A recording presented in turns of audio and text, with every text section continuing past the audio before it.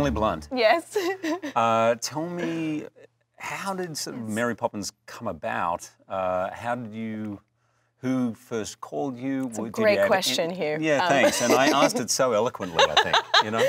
Um, so, I had worked with Rob Marshall on Into the Into Woods. the Woods, brilliantly. You're very sweet, and he was a friend and is now obviously still a friend. And um, he called me and left a very sort of charged voicemail on my phone, so I knew it was something quite big because it was so sort of ceremonious. He was like, Emily, it's Rob Marshall. You got to call me back. And so I was like, oh my god. So I called him, and honestly, it really felt like he was building towards some kind of marriage proposal. Oh. It was so had to, such an energy behind it, and and then he just said, you know, the the movie that Disney is like their prized possession, and it's Mary Poppins, and I was filled with a feeling of complete thrill and fear Right. Because it's I knew in that moment I was going to do it, and I Yeah. knew I really had my work cut out for me. Like it was a simultaneous sort of moment of. Yeah. You said yes immediately. You just Immediately. said 100%. But just because he's so delightful, Mm. and I knew he was going to know how to dig for the gold, and he was going to protect this legacy. Really, I mean, it is. It's that film that's sort of seared into your memory, Right. and it's made such an imprint on people. I mean, do you remember seeing it as a kid and like?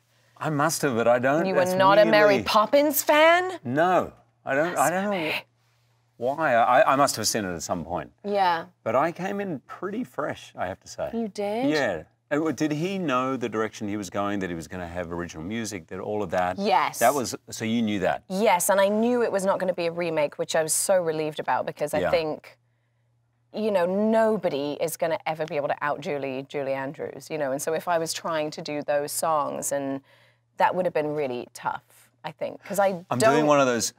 Listen, don't undersell what you did. Look, there's Julie Andrews is unbelievable in every single way. You are unbelievable in every single you're way. No, I mean it because the. It's also you go in as someone who knows musical theatre and movie musicals. You go in like, "Hey, that's that's a lot. You've taken on a lot. That's a big part. Like it's a, and from the opening scene, you just go ah. Oh, you're the best. And and I think that feeling for an audience is that that's the hardest thing to achieve for to make an audience immediately just go, particularly in a musical, right. just to be able to go, oh yeah, sing, thank dance. God, I'm right in there. But honestly, you you did such a brilliant Oh, job. you're so sweet. And it's not, as you said, it's not really about comparing.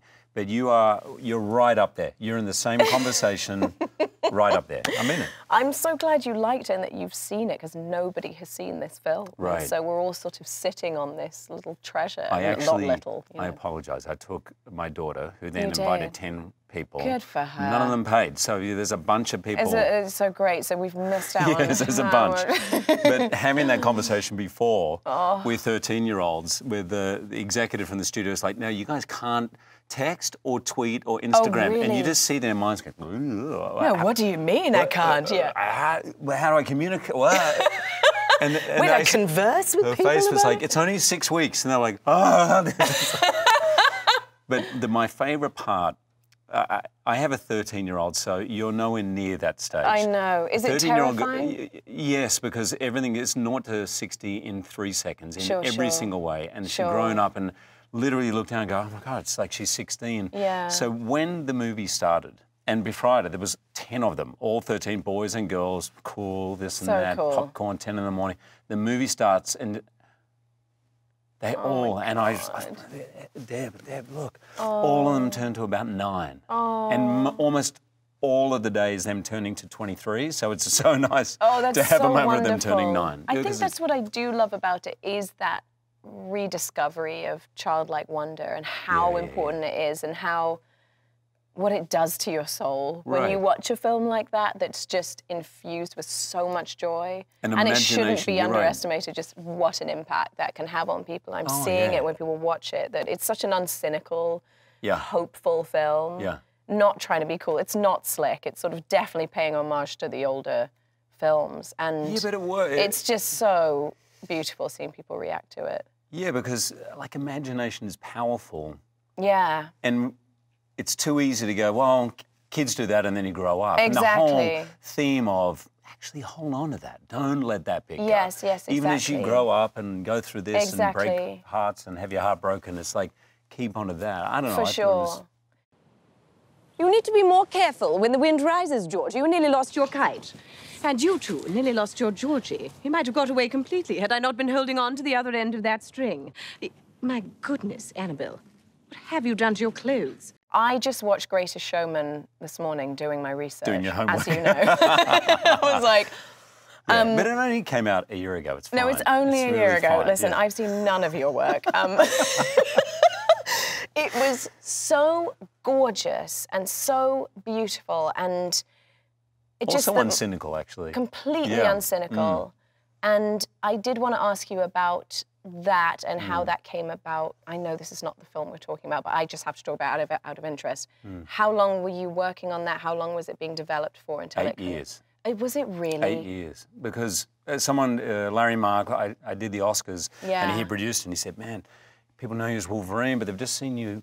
Do the- You should do a movie musical? You crushed the Oscars, by the way. thank you. Oh, epic. Thank you. That was a good one. It's always going in when expectations are low. You always set yourself up. Exactly. People go, well, it's not that funny. I don't You're like, yeah, Hugh Jackman? Go, what? "Ah, yeah. ah." I know, it's the best. It's the So- best. um, he said, let's do something. And from that moment to being the movie released was eight years. And of course, the hardest thing, as you know, with this is the music. Because there's that. I actually didn't hear this saying till after the movie came out, but my, my agent said to me, a, a musical works because of the book, but people love it because of the music. Yeah, So if you haven't got the music, obviously you're in real trouble. that's it. And we had these, so the, the studio said, let's have the writer of the day, the famous writer of the day, to write songs. We'll have five, we'll have Pharrell, we'll have Bruno Mars, we'll have a bunch of people, and we'll have cool songs, we can play them on the radio, it'll be all of that stuff. And these young guys, Justin and Benj, somehow got through, wrote a song that was in our kind of first three. And then all of a sudden they wrote another, so they were two or 5 And by the end, it was all their songs. But they, were literally straight out of college. So getting them kind of sort of across the line with the studio, it just took us a while. But Oh, it was the songs are was- so yeah. extraordinary, and you know a great song when you hear it because you think you must have heard it before. It has such an immediate Mm. um, impact on you that you feel that you've lived with it for a while. yeah. And I was humming along with the song as it was happening. It was just, it was so beautiful. Yeah, I and, loved and, and it. these guys, also dear Evan Hansen, they've Oh, just done so much good stuff. But the studio, I have to say, you like this story. Yeah. When the names they were expecting to hear were Pharrell Williams, there was Yeah. Justin and Benj, and the studio execs came, "Who- "Who's this?" Yeah. And our director said, "Well, they're massive on Broadway. You don't you know about them?" And the guy goes, "Mm, "No, no, no. What are they? What have they done?" Yeah. He said, "Well, they just won a Tony Award." And he said, "Oh, right. So, sorry. What? Sorry. Yeah, What for? yeah. Uh, for James and the Giant Peach. Right. There's never been a production of James and the Giant no, he Peach. But the guy goes, "Oh, awesome. Okay. So we've got Justin and Yeah, Benj. you just no one wants. This is what I feel about Hollywood, though. That's the classic. Nobody wants to be the first person to say yes. Everyone Right. wants to be the second. Like Right. everyone's fine being. Like, as soon as there's some validation, they're like, Right. they're amazing. you know what? They're incredible. I mean, don't you think you owe it to us to be forthcoming? Oh, you. You're denying what we've seen with our own eyes. The only eyes. thing I deny is the idea that somehow you have the right to ask me these things. You're running for president. I'm aware of that, Tom. It's in the papers. Well, you have a responsibility. I know full well what my responsibilities are. Do you know yours? yeah. So Hugh, you are Hugh Jackman. Yes. Sorry, That's all right. I got confused. I, you're this right. is all about branding. yeah, all it's about- all. this is a big opportunity for you. I Thank can tell you. that. Thank you. Um, uh, so, when you're doing Broadway, yeah. Are you nervous doing Broadway? Do you love it? Yes. Do you? Yes. What happens if your voice just cracks out? Right. So yes and yes and yes, but I started in, theatre, so in, in Yes. a way, it's the place I feel most at home. Yes. So, and I've ha- I've been on stage enough. There's kind of two types of people, and I'm guessing you're a little like me, whether you know it or not. That when something goes wrong, a piece of set doesn't come up, someone gets sick, and someone new comes in. I, I love that. you love it. I kind of go, oh, this See, is I, great. I'll I be like, just "Let- I'll felt my on." palms just start to sweat, Right. just even at the So thought maybe of you're it. not. Maybe I'm not. But regardless, for me, i it's such a great counterpart to doing film. Yeah. One one makes you sharper for the other. And vocally, I was super nervous. Like when I did The Boy from Oz, I had 20 songs and it was eight shows a week, and I was like, I don't know if I can do it. I didn't Mm. speak during the day for the first bit. Poor Deb, or maybe good for Deb. You must have been really fun for Deb. Well, actually, I'm not really that much fun. But Deb, is right. that She- true? Deb, am I fun? Deb, I'm not fun. Deb, is he lame? Deb makes her own fun. You know that. Deb. Yeah, love Deb. So uh, I wouldn't go out afterwards. I'd sleep in. I had no coffee for a year because someone told me You that dehydrates you. And it's like, It okay. does, I think. Right, so I did anything, and then what you realise, particularly in Broadway, you have so many people who will help you get through that show. Like, That's right. If you get a sore throat, Yeah. if you're in London, the doctor says let it run its course, take a few shows off. Yeah, yeah. In America, they're like, Steroid shot. hands down, let's go. See you later. And does it they will get when you get through a that. shot? Yeah, you can't do it forever, but yeah. I, I, I, I got through shows that I never thought I'd, Really? I'd get through. See, yeah. I've done plays and I loved it. Which my play did you I do? did um, The Royal Family was my first Ah. job. I was 18. And then I did Vincent in Brixton, which was a play at the National about uh, Vincent van Gogh. Right. And then I did Romeo and Juliet, Playing. playing the nurse. Who do you Ah. think? You're like, so, and what about a musical?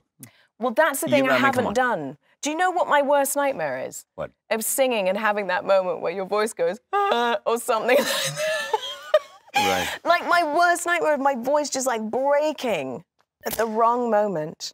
Right. Because it what I will mean? do that occasionally. it will. Yeah, but I just, I've never had tra- So, are you a trained singer? Because no, I'm not I, a like trained so I was a singer. trained actor, and I got singing. le- It was in my contract when I did Beauty and the Beast. Yeah. My contracts gave me one singing lesson. I had to have That's a singing it. lesson every week. Oh, you're okay. Yeah. So I kind of got through it. I got better and better, and that's when I got lessons. So I've been Yeah. learning on the job. Me too. So I it took me a long time to feel confident. yeah. But actually, It does help when you have those lessons. You just suddenly Yeah. have something to grab a hold and hold doing of. eight shows a week Yeah. gives you that confidence. For sure. Because actually, you will occasionally, occasionally the song, but predominantly 99% of the time, it's totally fine. Shall we do a musical? You're going to do it. I, I'm in. I'm totally So in. I'm in now. Because Steroid shots. you, I'm going to do what it. would you do? Do you have any idea? Do you think, ah, that show? I want to do The King and I, but you can't do that with me. Yeah, that's going to be tough. that's, that's not an easy one for me. That's inappropriate. but you should do that. Um, I think that's so beautiful. I Yeah. was obsessed with that film as a kid. Really. Completely obsessed, yeah. Shall we dance? Dun, dun, dun.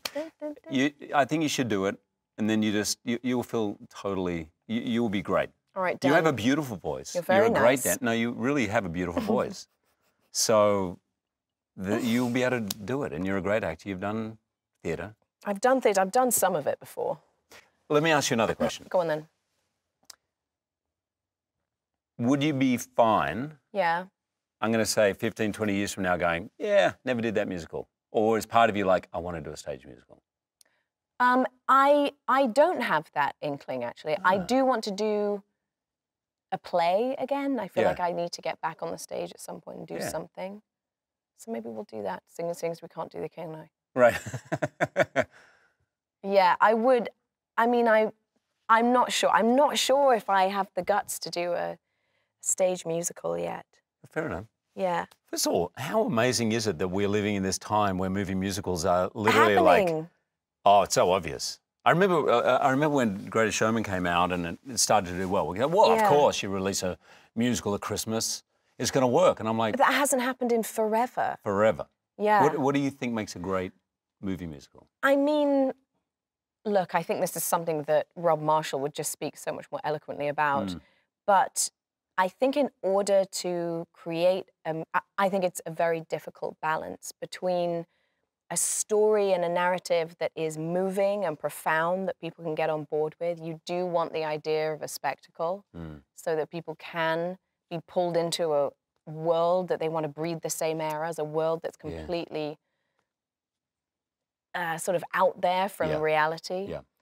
But then you want the songs and the scenes to sort of have a seamless feel so that it's Right. not this quality of like, and here's a song, you know. Totally. I think musicals, if they are done poorly, it's almost like it's funny when people start singing. You're like, ooh, it like makes you cringe. Yeah. You want it to be that you don't even notice. Yeah. I think you know, and I think that's the tricky balance of I agree. you know. I often. What do you feel? Well, I always when people say to me of musicals, I go, "Did you like Grease?" And they'll go, "Yeah, it was a cool movie." And I go, "Look at the story of Grease and the songs, right? It's that's a hard thing to pull off. But watch Yeah. Travolta from the scene with Olivia Newton-John in the drive-in, Oh right? yeah. The, the little have the argument. She's you're terrible, Danny's you know, walks Yeah, off, yeah. yeah. and he then has to walk Oh, strand of the drive-in, looking like a fool. And you think that's not an easy it's transition to pull off but you don't feel it. ever. Yeah. And I, I was lucky enough to do a, a film with John, and he says you, just have to commit to it So, hard. And uh, in the theatre, there's something of the form of theatre. There's something about we're all sitting there. There, the, there's the orchestra in the pit. Yeah. The band strikes up. We go along with it, Yeah. but you have to make those transitions work. And I know that for Les Mis, you did all live singing, Right. which is extraordinary Yeah. and such a huge undertaking for you guys. And it was really remarkable Yeah. watching it. And I know that what Rob, Rob Marshall likes to do the two times I've worked with him is you do the pre record. Yeah. So you've got this perfect version of the Yeah. song uh, right before we start shooting. And then on the day, you sing a few live Yeah. and he just sort of combines the two so that there's not that sort of eggy transition of Oh, right. going from a kind of gritty scene Yeah. into something that sounds so orchestrated and perfect. So usually Ah, the beginning of every song, Yeah, it sounds live to me. it just sort of blends. He sort of Right. blends the two. And have you got a little earwig? I do. And so is someone, have you listened to a track or is someone? So there's there's a track that I sing along with myself. Right. you know, but it is that awful moment on set where you sing along to the.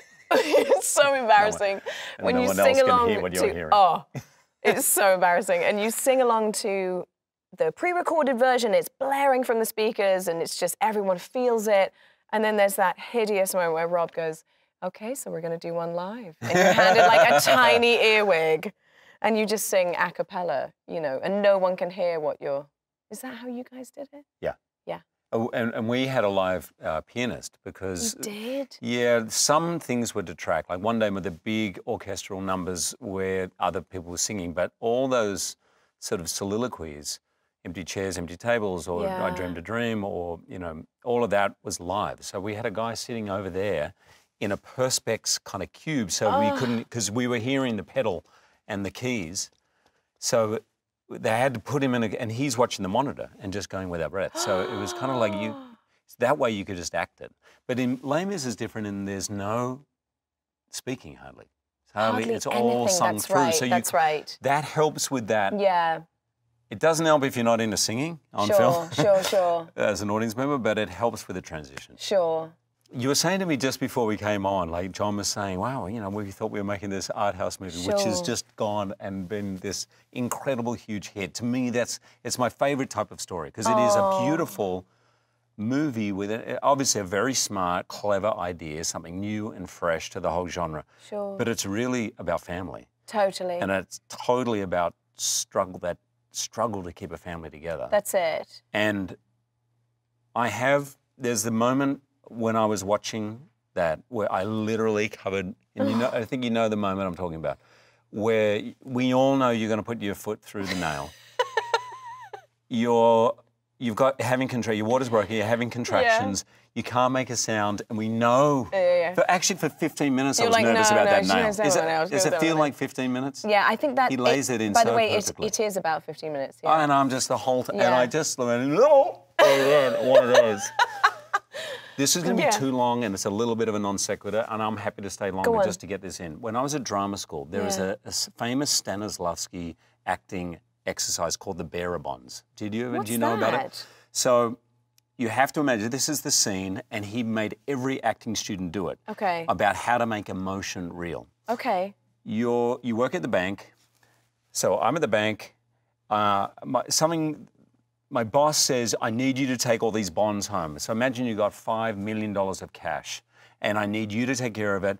And I you say I don't want to take care of it. He says you don't, and if you do this well, you'll get promoted. So you're carrying home all this cash, and you're going to get a promotion. Uh-huh. You come home to your wife and child, and you put down the the bag with the money, and you go in to bath the child, and the child's in the bath, and all of a sudden you hear a screech, and you realise somehow the money is caught on fire in the other room. So somehow the bonds, the five million dollars cash, is on fire.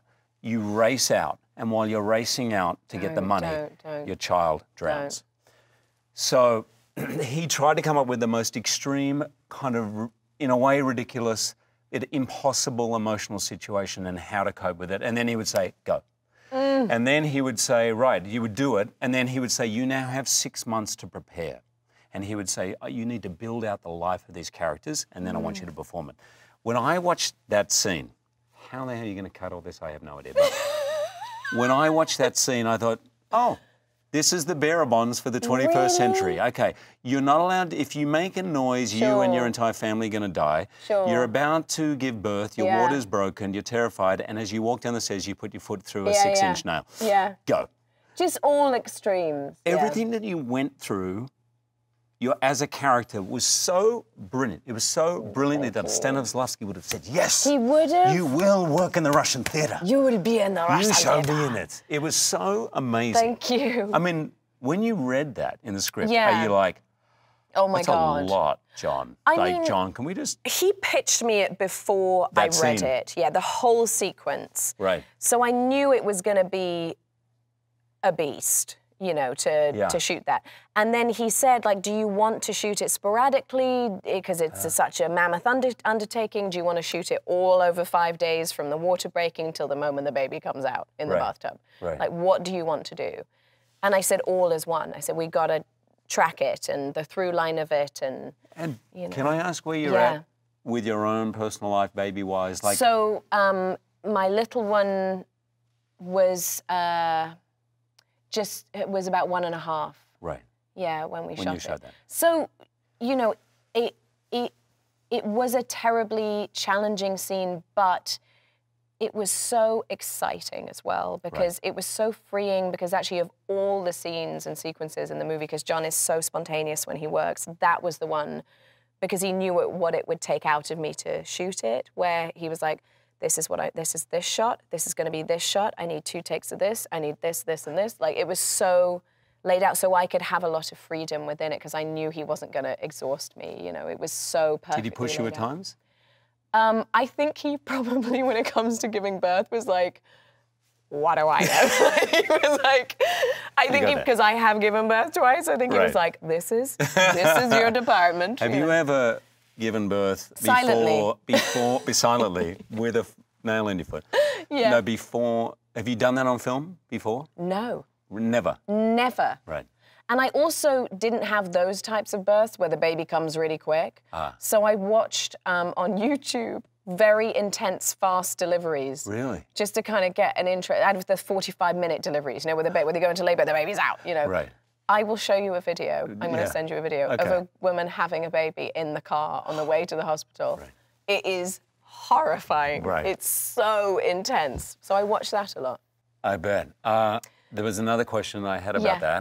that. Uh, do you watch now, having given birth? Yeah. Are you really judgy when you watch actors doing birth scenes? You're like, no, I mean, some people nail it, Right. but it's usually people who have given birth, got it. you know. Right. Yeah. So when you do your scene, give me a call. I'll give you some pointers. I love yeah. it. Well, you've sent me the video. I've got it down pat.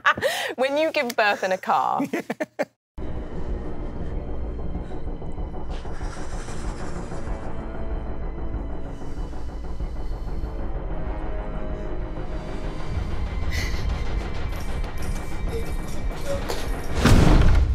Hugh Jackman, when you did your birthing scene in the front runner, Right. um, I gave birth to that wig. you to that yes. wig. Yes. No, it was a fantastic wig. He was known for his hair.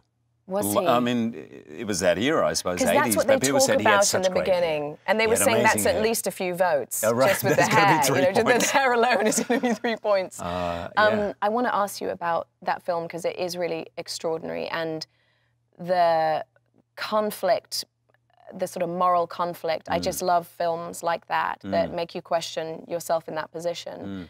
And I wanted to ask you when you took it on, were you, what was your own personal feelings towards this character Mm. and how much did you empathize with it with him? How much did you sort of disassociate what how how you would behave in that scenario? And I, not knowing much about it, yeah, but I, before I read it, my agent happened to be a political science major, so he gave me a little bit of a right. background. And he's often described as the great president America never had. I was like, oh, why is that? So I found out a little bit about who he was and the kind of person he was. So I went in probably reading it a little biased, mm, thinking, mm. it feels to me like we somehow have remembered these three weeks and this candidacy is a bit of a joke. He's like mm, become a meme, really, you know.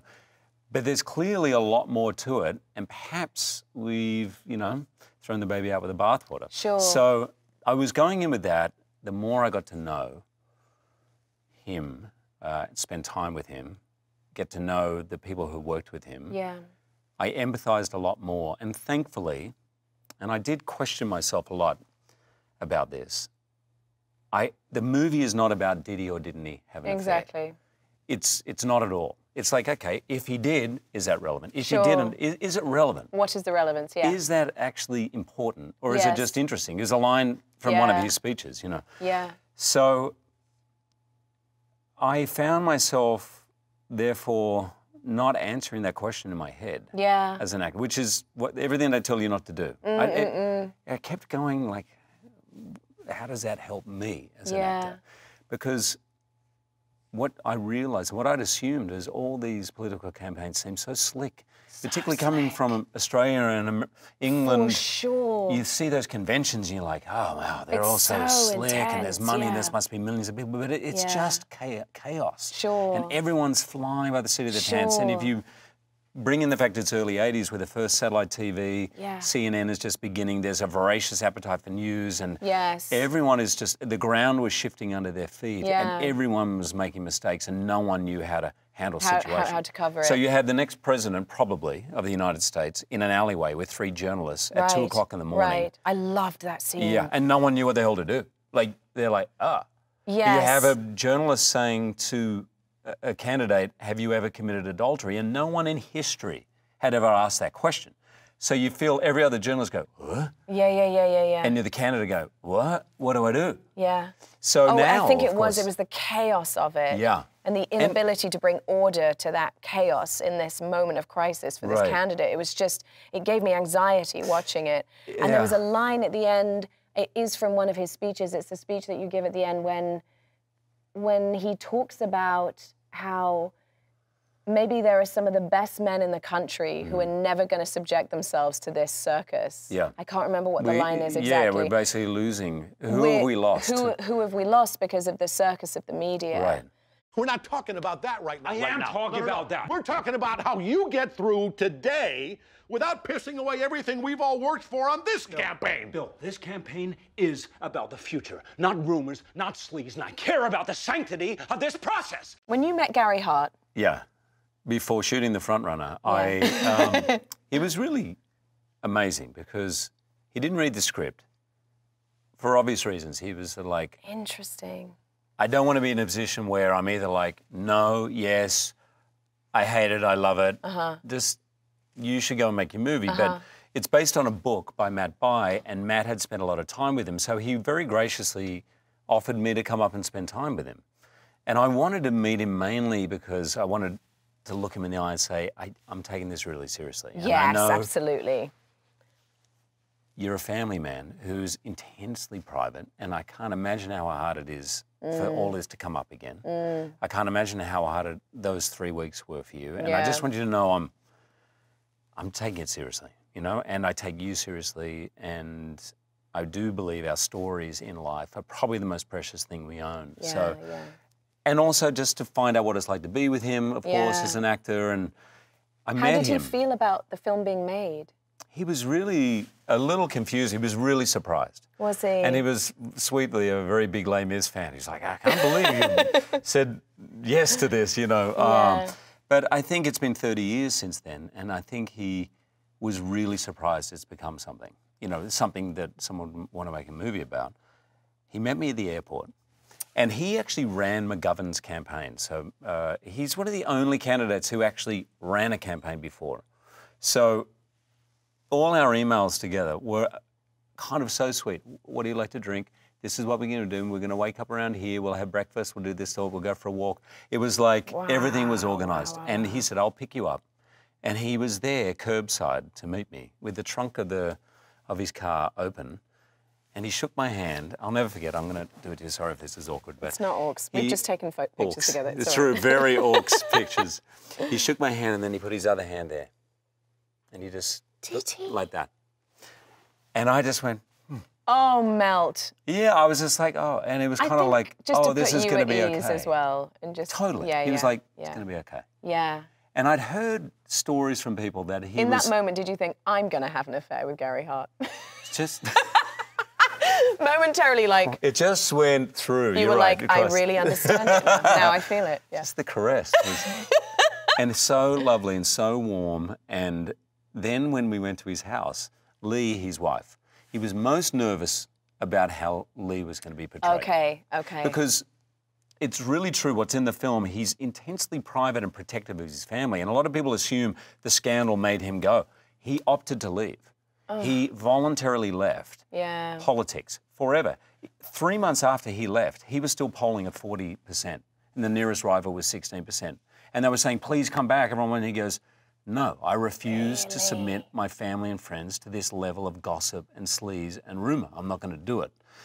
Anyway, Lee, his wife, had just had hip surgery. I don't think she might be, you know, it was mm. elective hip surgery. Mm. He, they were sleeping downstairs on the fold out sofa. And he said, You'll sleep upstairs. I was like, Oh. So we go upstairs, and I'm clearly walking into the master bedroom. You're in their room. I said, Garrett, oh, I can sleep. He goes, No, no, this is the best room, and you'll sleep here. And then he just cleared a little bit of space in his cupboard. He goes, You can put your clothes here. Oh so oh my goodness. it was like, as an actor, it was so immersive. And then he Yes. made me not one, but more than one of the meanest martinis. And we- Really? yeah, and then that first night we were whiskeys, cigars, So till like 11 o'clock at night. And we're friends to this day. That is They- so all-consuming and Yeah. must have been surreal. But it made me, I was, I knew he was going to see the movie. Yeah. What did he think?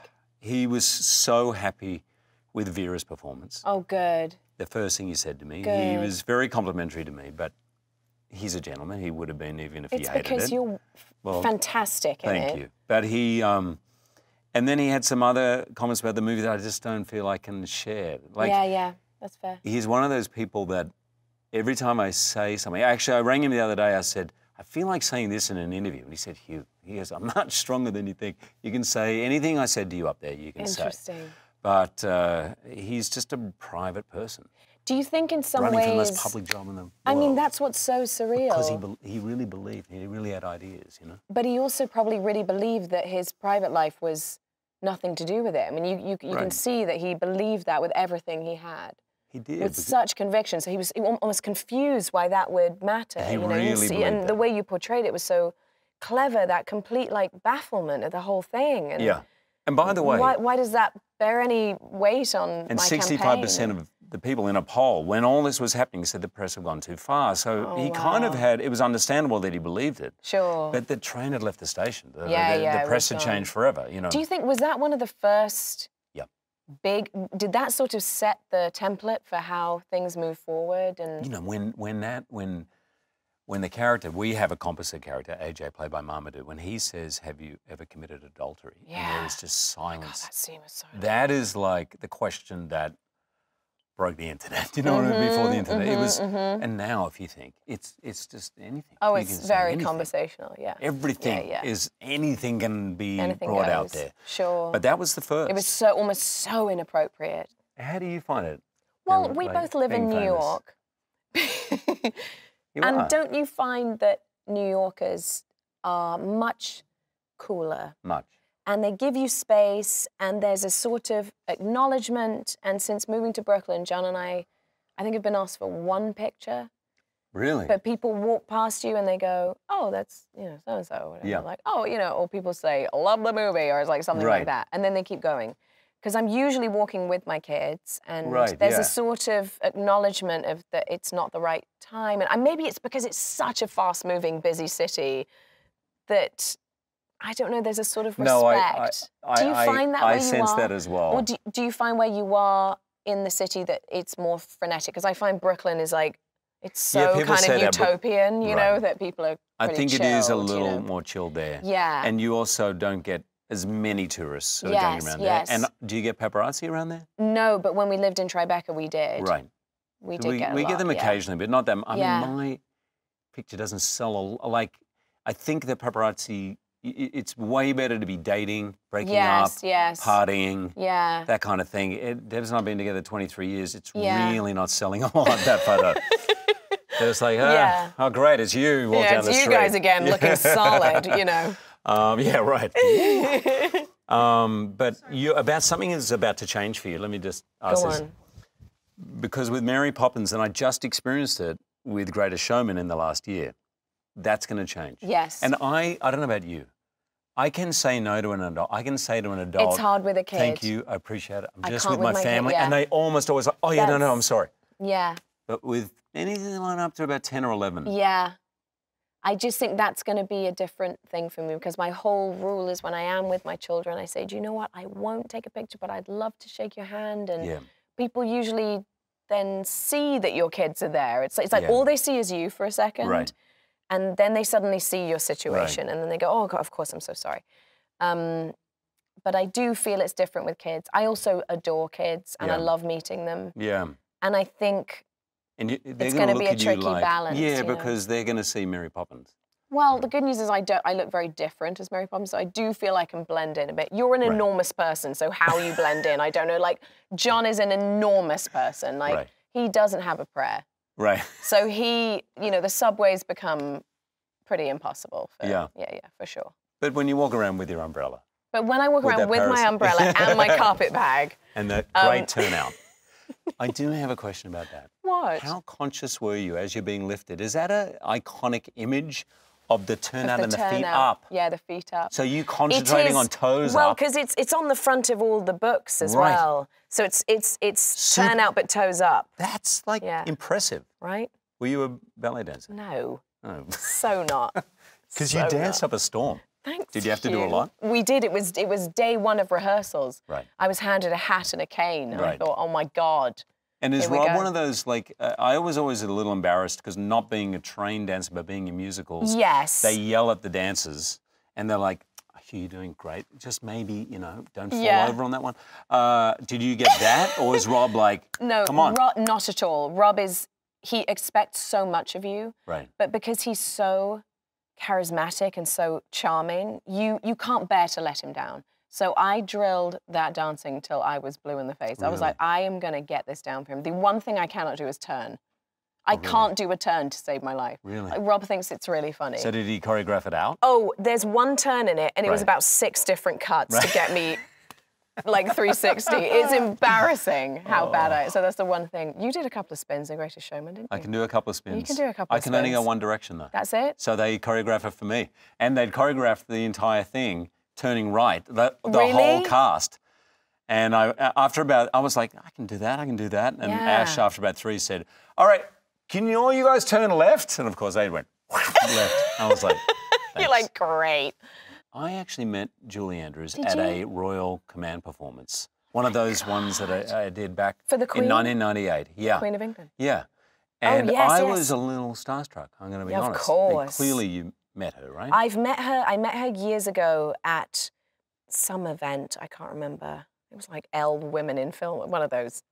And she was so charming and so lovely. Little did I know years later that I would be offered Mary Poppins. Right. But um, Rob Marshall is very close with her. She was incredibly supportive of me playing the part and excited for me to do it. And I think she's been a big, big supporter of this, you know, Really? that believes in the next chapter of this character. She also knows there's seven other books. And Was it unnerving for you? Like when you're recording and you look over in the corner, she's standing there. Was that No. weird or she wasn't there. no, in the background, just always no? Yeah, she's there like So with her super- perfect soprano voice. She was super Um, cool. She was cool. She was very hands off with the whole thing. you yeah, I get that. Because Yeah. what she would be worried about raining on your parade. I think so. Yeah, I think so. And there was a discussion about, you know, maybe that she would come and do a bit in the movie and Mm. and she was so generous actually. She said to Rob, "Do you know what this is?